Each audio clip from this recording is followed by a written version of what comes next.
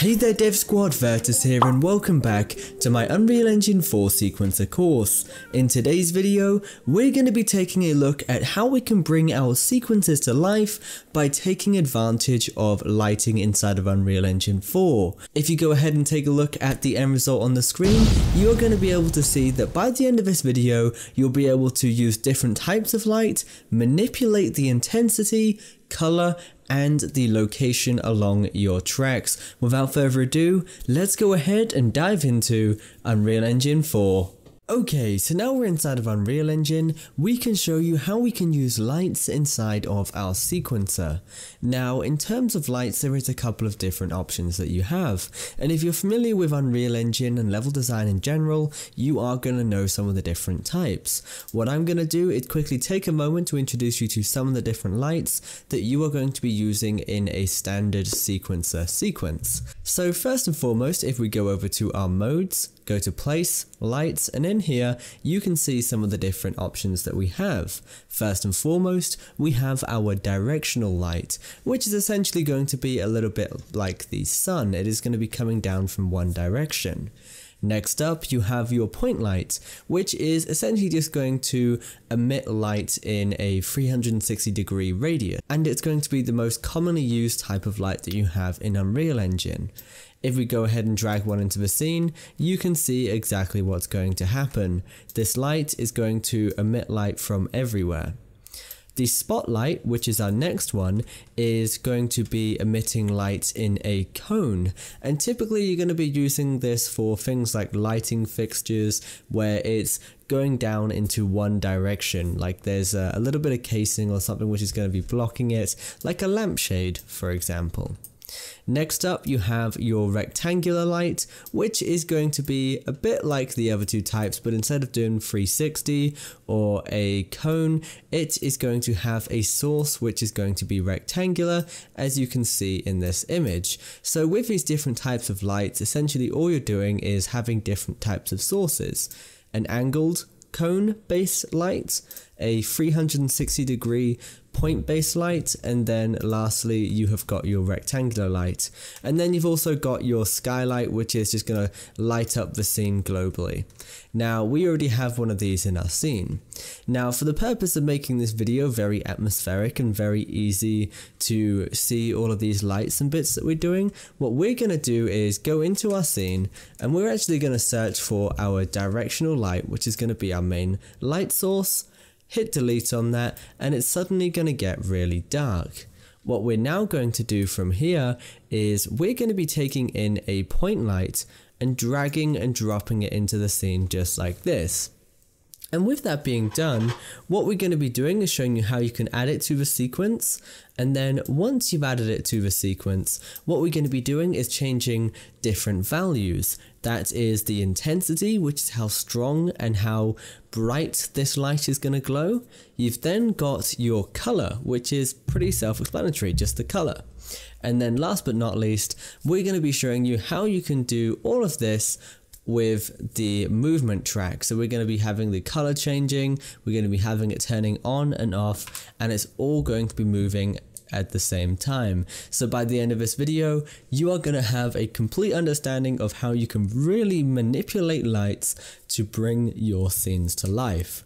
So if we go ahead and dive into our sequencer, with this point light selected, we can add this to the sequence just like any other actor actor 2 sequence and then we're going to add point light 2 or you can just search it there as well.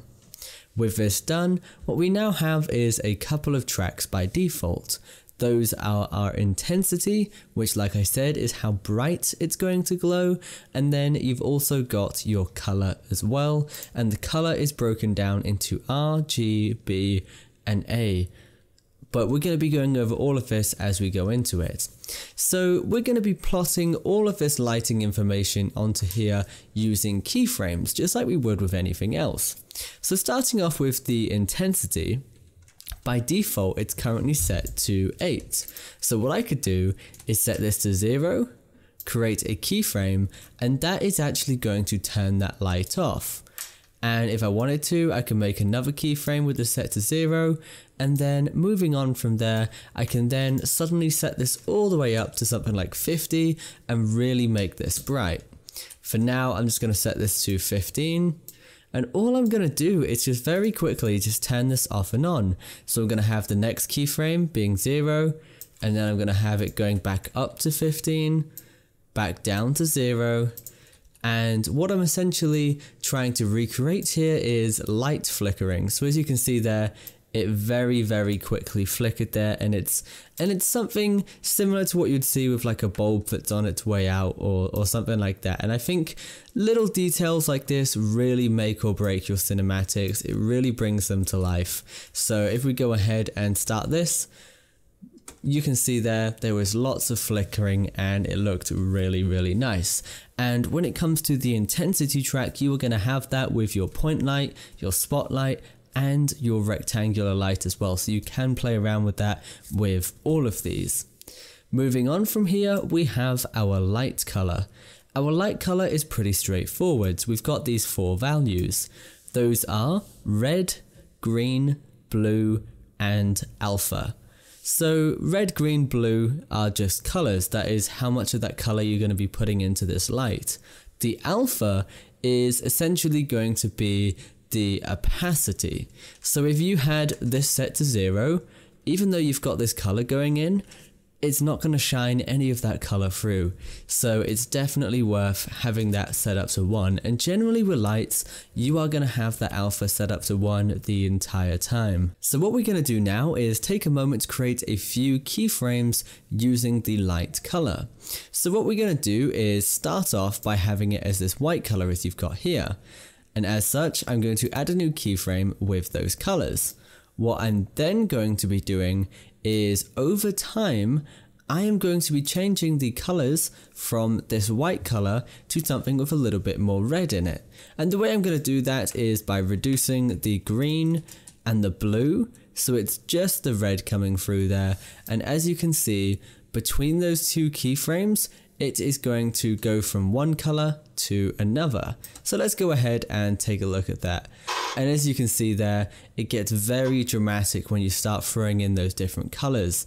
The red color sort of represents warnings and it's sort of telling you that something is about to happen. And that something that I'm about to do is the explosion. Because we've got the particle effect going, I want the flames to really lighten up the scene. And the way we're going to do this is actually by using a bright orange light. So what we're going to do is we're going to be having this at red, just like it is here. We're going to be creating a keyframe. And then just as it explodes, that is when we're going to be changing it to an orange. And the way that we're going to be changing this to an orange is by, you guessed it, just changing the RGB values. So what we're going to do is put a little bit of green in there and that is going to give us the orange that we're after. Now what we also have to do there is we need the intensity to go up because the orange isn't going to be as visible.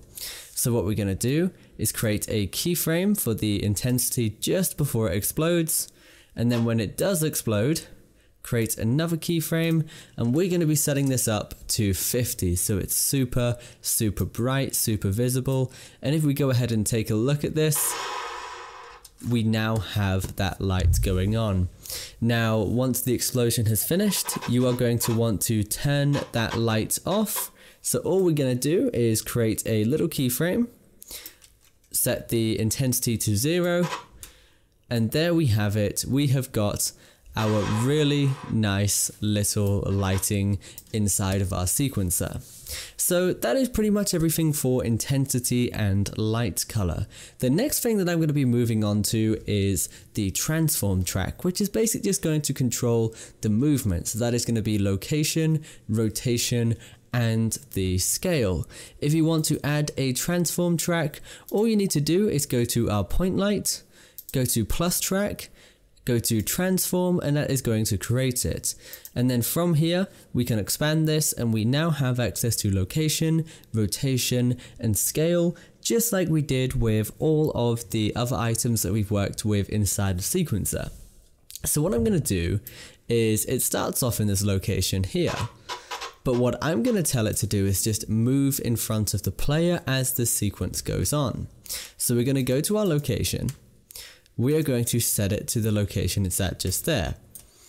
But by the end of our sequence, at the very end here, we are going to tell it to move. And we want this to be right in front of the player. Just like this. So move it along, move it down, and then with this new information, this is where you want to be creating that keyframe. So use the location to create that keyframe. And if we go back to the start of our sequence, we can see our light is now moving. And if we wanted to, what we can do to really show this off so you can see that light being displayed on the player, what we do is simply just go to our intensity and we're just going to turn this on. We're going to set this to 15 so it's visible, but most importantly, what we do need to do is change the color because we don't want it to be orange anymore. So we're going to create a light color track or keyframe rather, and we're going to be setting this to 111. So it's just a solid white, just like that. If we go through, take a look at this, it flashes, it explodes, it comes on, and then it sort of just follows the player through just like that. So hopefully you guys are starting to get a better understanding of how you can use lighting inside of Sequencer to really bring it to life. And if you do some really careful and creative cinematography using lights, you are going to get some amazing results. Anyway guys, that is absolutely everything for this episode. I hope you have enjoyed it. Stay awesome, keep creating. Virtus signing out.